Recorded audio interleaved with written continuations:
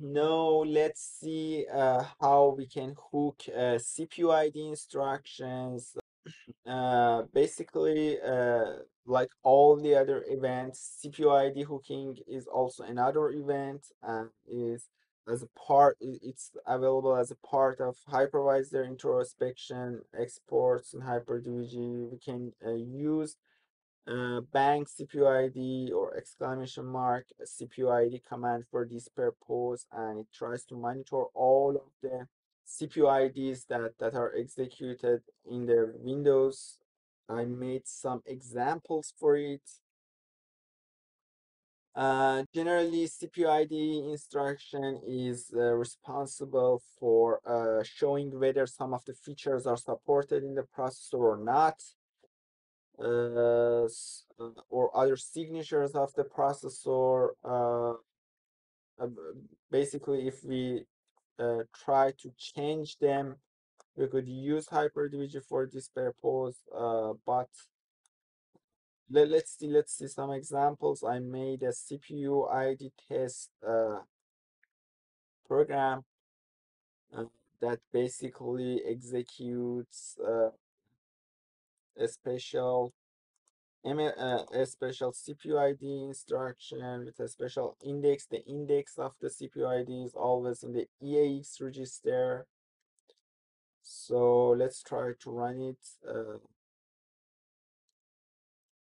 yeah, here's the result for this uh, uh, CPU ID instructions on my system. Uh, uh, if we search uh, Google for some of the indexes of uh, CPU ID uh, instruction. We, we, uh, we could see the details for these uh, CPU ID indexes. I made some examples here. Let's try to see them.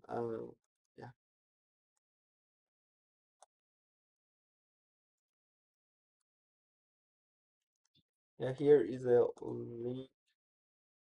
Um, the Wikipedia link also explains some of the CPU ID, for example, with EAX, uh, which is uh, equals to zero, we could uh, expect these values, while if the EAX is one, then it uh, reports some of the uh, processor info and feature bits.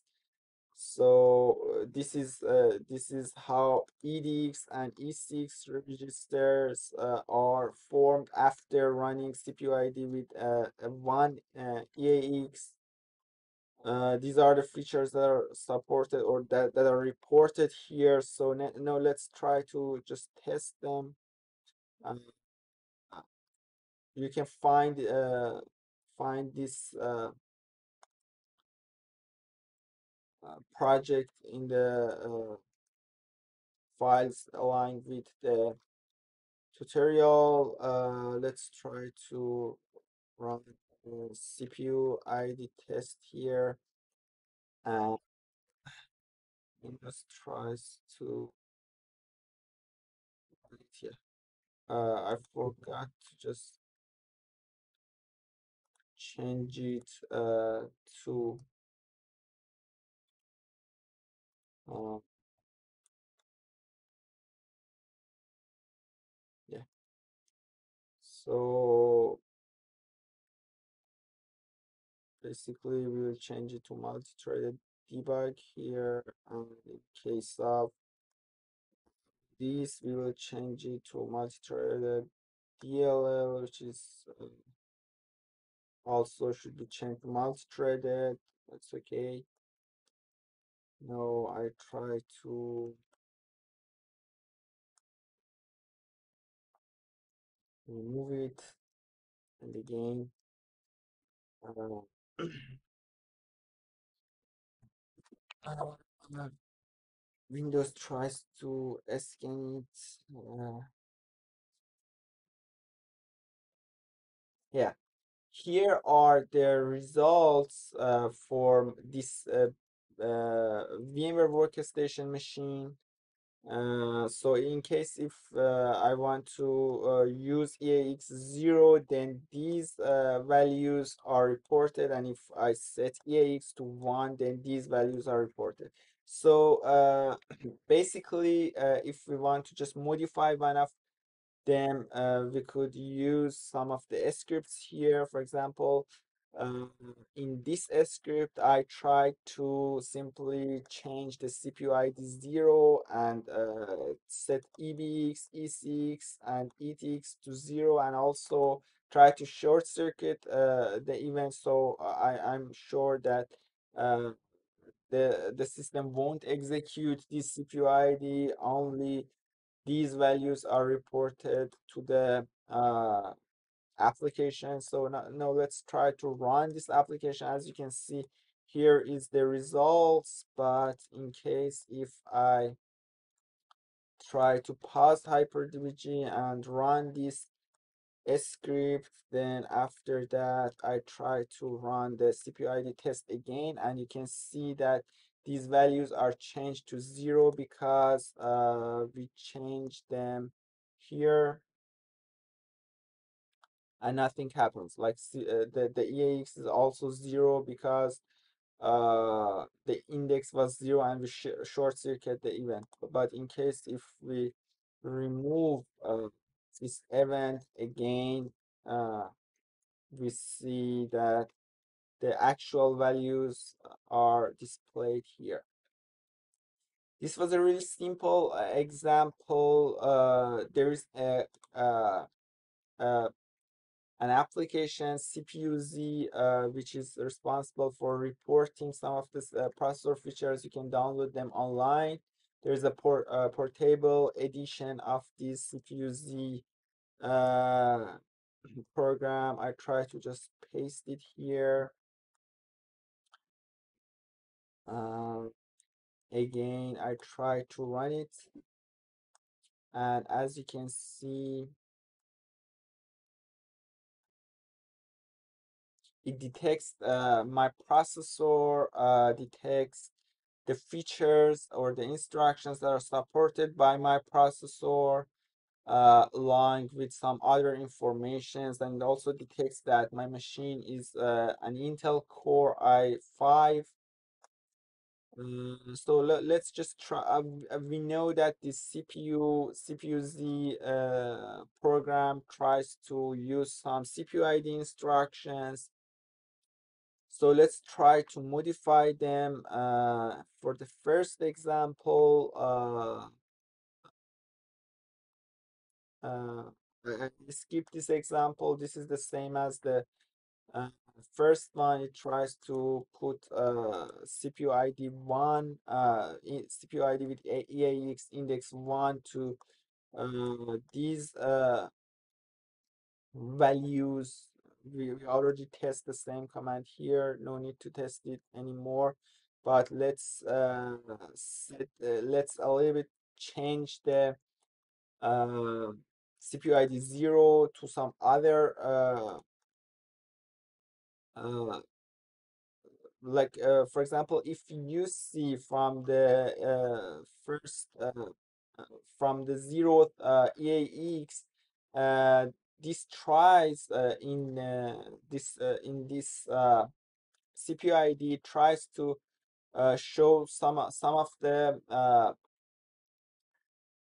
the signature of the processor. For example, uh, if for for example uh, for Intel processor this signature is sh uh, shown, or for example for AMD processor, authentic AMD, or for Intel genuine genuine Intel is showed uh, there are also different, uh, very different uh, names for different processors. Uh, so I try to just change this uh, this Intel signature, which we accept, which we expect to see uh, this uh, signature for Intel processor. I try to change it to an authentic AMD. Uh, so basically, if I try to uh, uh, convert uh, ASCII uh, um, hexadecimal to ASCII, you can see that uh, I changed uh, the signature of the processor to authentic uh,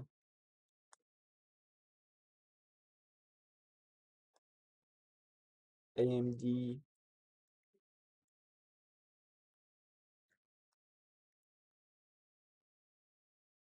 and it's a little bit awkward how it shows it here because we have to change it uh, in three four bit registers so basically it's something like this uh, authentic AMD um, authentic uh,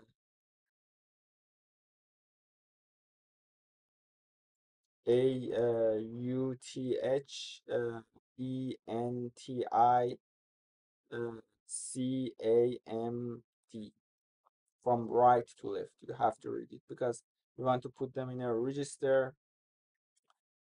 Uh, let's let's try let's try to run uh, the same command uh, on my machine, and I'll, I also uh, ignored by sh short circuiting the event. So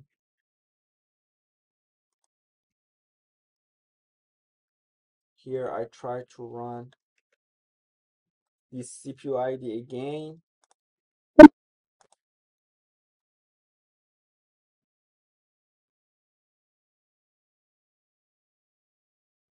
And as you can see, it, it can no longer uh, uh, recognize my processor. So it just tries, it, it just thinks that we are running on an AMD processor. Uh, I run it uh, previously, and this is the new window. So yeah, this, this is how we change the signature of the processor in HyperDbg by using a simple script and we can fool some of the programs, for example, to think that the current processor is different. We could do that. Uh, let's try to just remove uh, the effects of this uh, script and run another script. Uh, if, uh, as you can see from the correct version of the uh, CPU-Z uh, uh, we support these instruction sets. Uh, for example, VTX, AES, AVX, AVX2, SSE2, SSE, and SSE3 are also supported by my processor. Uh, but in case if you want to uh, like uh, mask some of them in the uh, CPU ID, you can all you can you could again use them.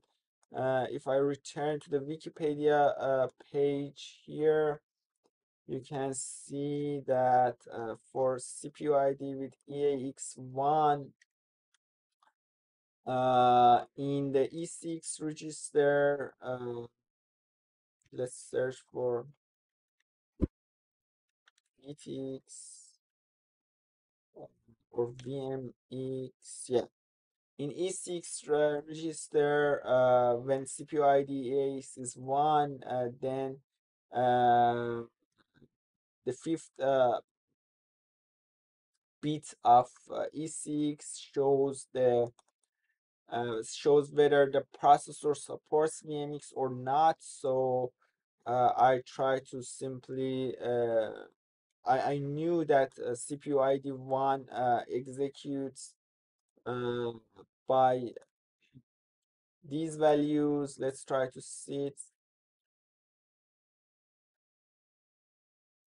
Uh, CPU ID one give, gives me these values in this uh, virtual machine. So I try to uh, set all of them uh, like a normal machine. And instead of uh, that, I try to mask uh, the fifth bit of the ECX register. So let's try to run it again on the machine to see what happens here.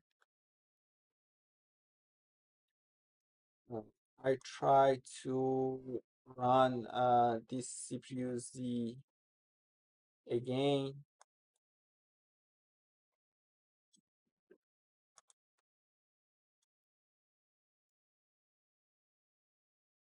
And, and, and yeah, and it also won't update the only first time the CPU ID is, uh, is executed and it continues to show it uh, as you can see from uh, the right panel uh, there is no no longer we see uh, VMX or VTX feature we have VTX here in the correct version of the uh, uh, CPU ID, but in this case, we don't have VTX anymore. But keep in mind that uh, by using this command, you, you can uh, just fool some of the applications like CPU, uh, CPU-Z uh, that this feature is not supported, but still this feature is supported in case if you want to disable the support for a special feature, you should use, for example, the MSR or uh, other commands that are related to the control registers. For example, by using MSR uh, write, you can disable some of, some of these features if the processor or if an application or a driver or the operating system tries to activate some of the features, you can uh, actually perform actually disable them by using MSR write event command, but the CPU ID is just a notification. It's just that like the processor wants to say something that whether it's supported or not. It's up to the program to uh, configure it to just uh, like see that it's not supported and uh, won't perform other checks. It's up to you. You can you can decide whether to disable it by using MSR register or just disabling uh, for the application to just give the, give the process give give the program some ideas whether the, the feature is supported or not.